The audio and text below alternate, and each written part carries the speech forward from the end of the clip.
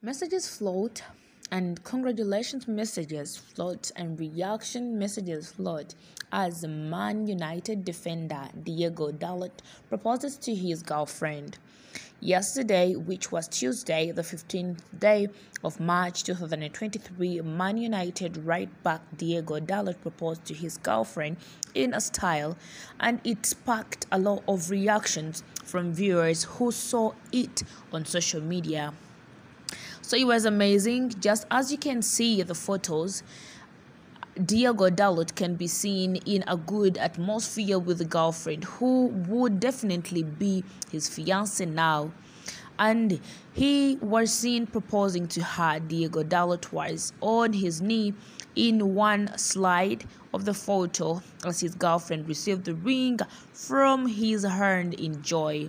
Immediately, the photo surfaced on social media. A lot of people stormed the comment section to react, as many people congratulated the Portuguese international.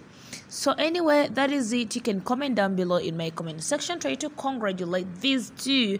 That is Diogo Dalot, the uh, Man United defender and the fiancé. I love you all. Subscribe to the channel for more updates. Bye bye and ciao ciao.